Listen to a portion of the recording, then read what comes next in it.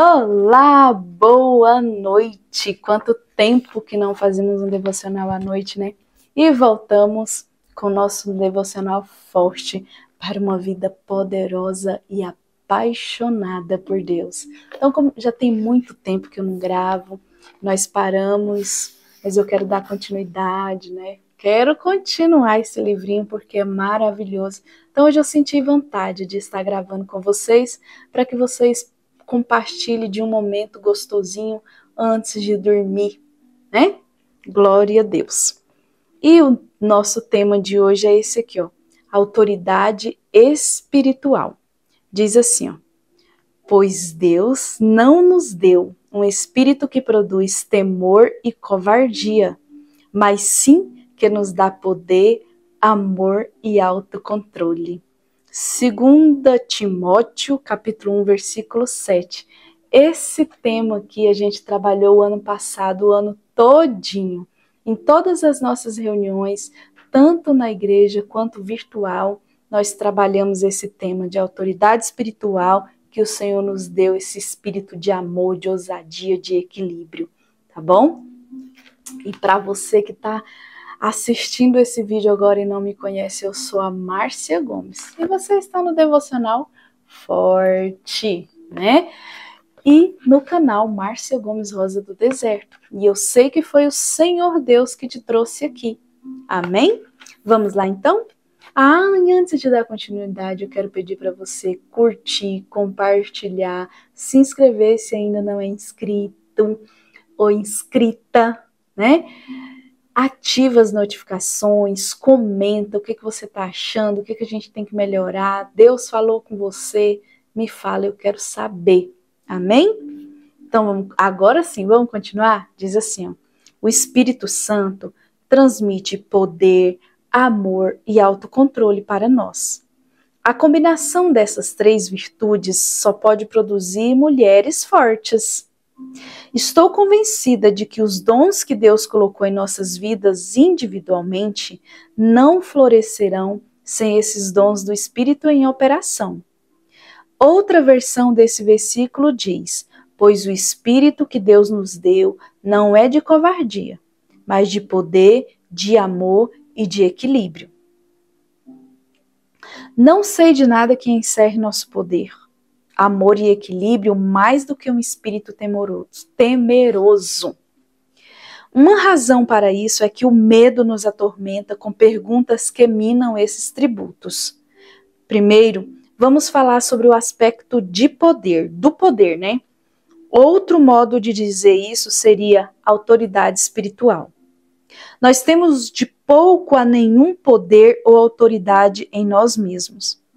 Adão entregou ao inimigo o domínio que Deus havia concedido a ele e a Eva no jardim. Pela obediência, Jesus recuperou o que havia sido perdido pela desobediência de Adão. Então, Jesus aproximou-se deles e disse: Foi-me dada toda a autoridade nos céus e na terra. Mateus 28, 18. Talvez você esteja também entregando a sua autoridade ao inimigo. Sabe, quando você opta por ter uma vida pecaminosa, quando você opta por desobedecer a palavra do Senhor.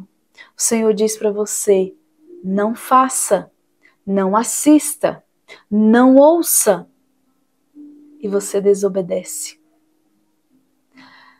Quando você está sozinha ou sozinho no seu quarto, que aí o seu dedinho quer clicar naquele site pecaminoso e o Espírito Santo fala: não faça alerta uma luz vermelha, pi, pi, pi, pi, pi. O Espírito Santo fala: não, não, não, e você clica.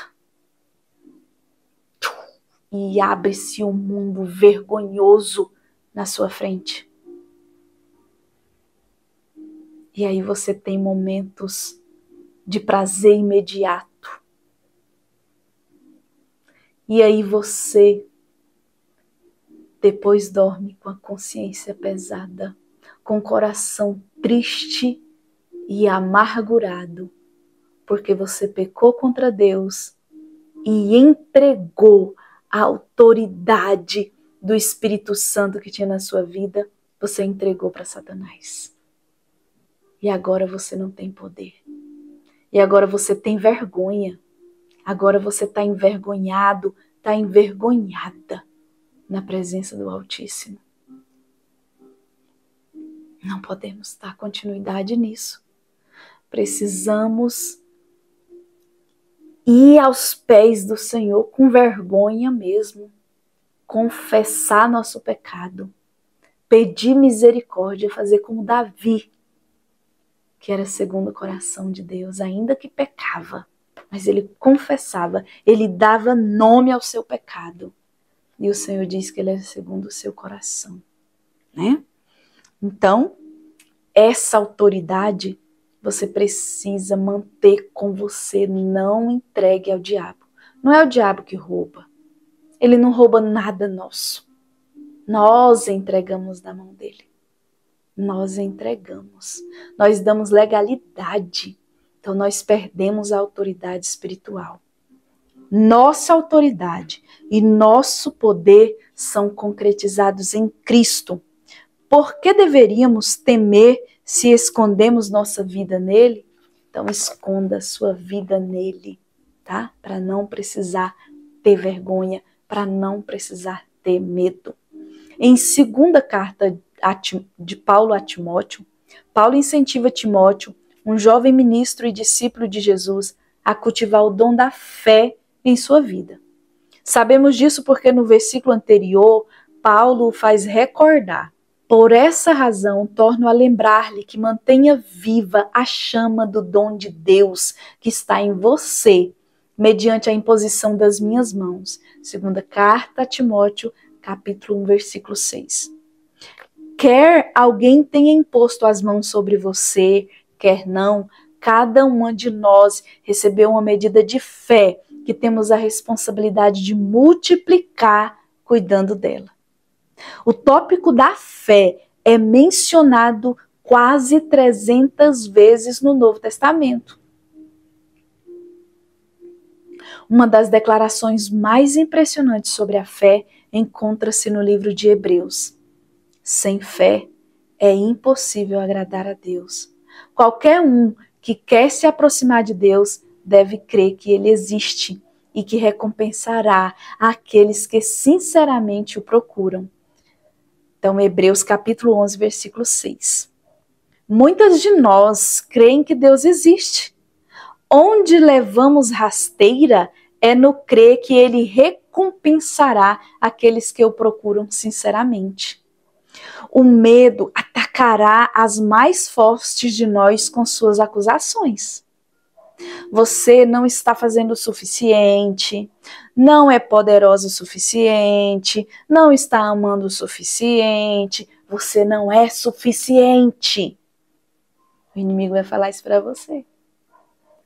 Por causa de Jesus, respondemos que somos mais que suficientes.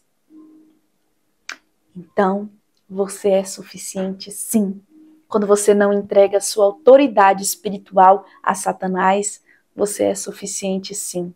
E mesmo que por algum momento você tenha entregado, mas você se arrependeu, você buscou, você mudou de vida, hoje você é suficiente. Então não ouça as acusações do inimigo. Amém? Vamos orar? Pai Celeste, obrigada por me dar esse teu Espírito Santo o qual me lembra que em Cristo posso andar em amor, autoridade, paz e equilíbrio de mente. Obrigada, Senhor, por essas mulheres, por esses homens que estão assistindo esse vídeo, Pai. Que a paz, que o amor, que a autoridade seja derramado sem medida sobre cada um. Que essa noite seja uma noite de paz, de bênção na vida de cada um dos teus filhos, Pai. Em nome de Jesus, é para a sua glória que nós oramos, te bendizemos, Deus. Amém. Glória a Deus. Então agora eu quero que você repita comigo com muita força. Tira o ar assim, ó. Ah, bem forte, enche o seu pulmão e fala comigo assim, ó. Eu sou forte, porque em Cristo me foram dados poder, amor e equilíbrio. Amém. Se precisar, grita alto aí dentro da sua casa, grita com força. Fala para sua alma escutar que você tem esse espírito de amor, de equilíbrio e poder na presença do Senhor. Amém? Deus te abençoe e até amanhã cedinho no Café com Deus Pai, viu? Não se esquece, bem cedinho mesmo, para tomar o café da manhã, estaremos assim, ó, apostos com café com Deus Pai. Tá bom? E tenha uma ótima noite, que o Senhor venha te dar descanso, que o Senhor venha te dar esse equilíbrio, que o Senhor venha te dar essa paz que excede todo o nosso entendimento. Amém? Deus te abençoe e até amanhã cedo. Te espero.